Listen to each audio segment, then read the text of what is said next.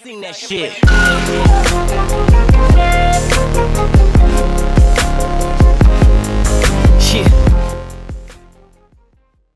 But before I hop right into it, I'd like to give a shout out to the sponsor of this video, SeatGeek. Now, I know you guys have already heard of this app, but if you haven't, I would highly recommend that you go check it out. SeatGeek is an app that takes all the confusion out of buying a ticket, be it a game, concert, Broadway show, whatever the occasion may be, they got you.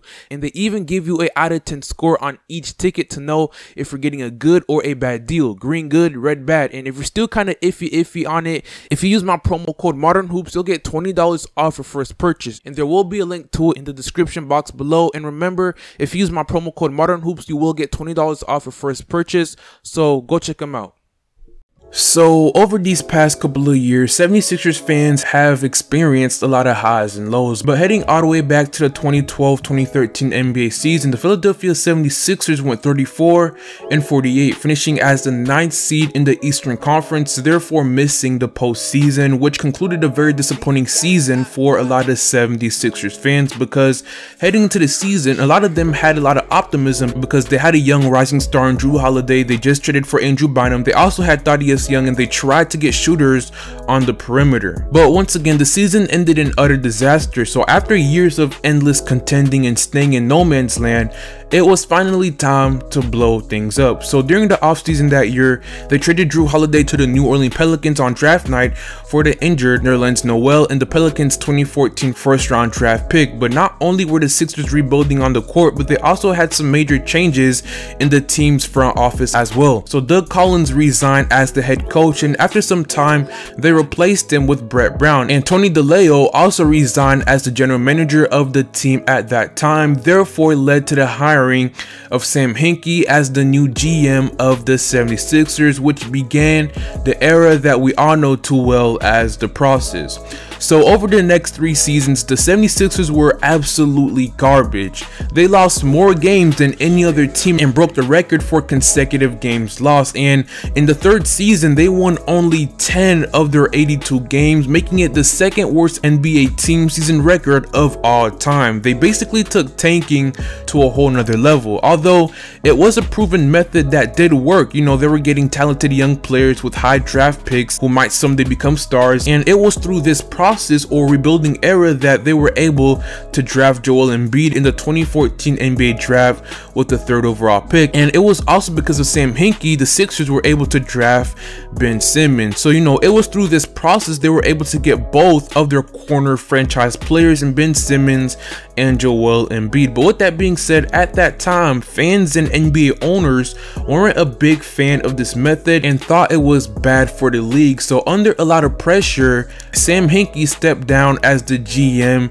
of the Sixers in April 2016, which leads to the Bryan Colangelo era in Philly, which only lasted about two seasons. Now, Bryan Colangelo's time in Philly didn't quite go so well, and it was actually a disaster having made some terrible decisions. And to name a few, he was the one that decided to trade up for the first overall pick in the 2017 NBA draft and selected Markelle Fultz when they could have had Jayson Tatum and this might actually go down as one of the worst draft day decisions of all time. I mean look Markelle Fultz simply looks like a bust. There's really no other way of putting it right now. Boston literally finessed the 76ers and got one of the best young rising stars in the league in Jayson Tatum. And this is all because of Bryan Colangelo. And not to mention, he also made the decision to pass up on Kyle Kuzma in the 2017 NBA draft. And instead, they chose to get a player named Honestly, I'm not even gonna try to pronounce his name.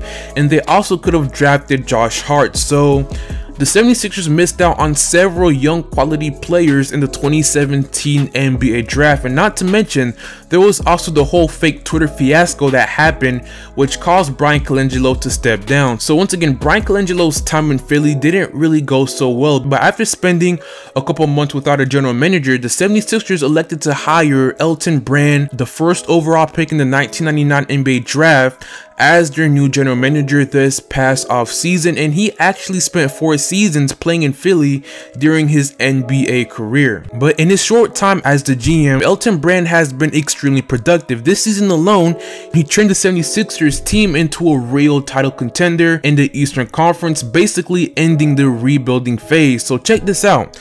This is the Sixers starting lineup last season, and this is it currently right now clearly a major upgrade. In his short time as the GM, Elton Brand has transformed this team and not even having a year under his belt, he was able to trade Jerryd Bayless, Robert Covington, and Dario Saric in a 2022 second round pick in exchange for Jimmy Butler. And it doesn't even end there, he was also able to obtain Tobias Harris, the proven young star in the league today, and Boban Marjanovic. Although it did come at a price having to give up rookie guard Landry Shamet and Philadelphia's own 2020 protected first round pick pick and an unprotected 2021 first round pick via the Miami Heat, essentially putting their future at a bit of a risk. But it's clear that the Sixers are in a win now mode. In a quote, Elton Brand said this Joel Embiid seeing his growth, Ben Simmons seeing his growth. They've rapidly improved over the past season. The window is now, our opportunity is now. So once I see that window, we discuss taking a shot at it now because who knows how long this window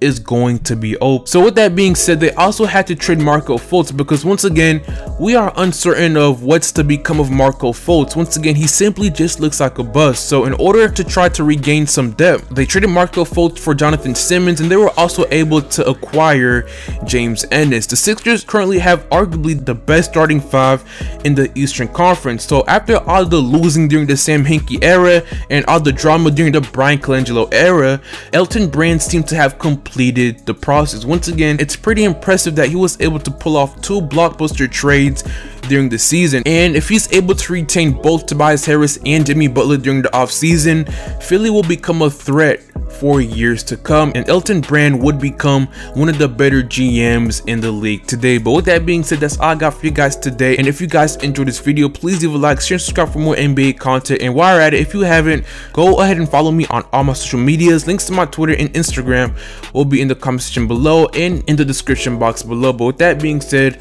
I hope you guys have an amazing day and I'll see you all later. Peace.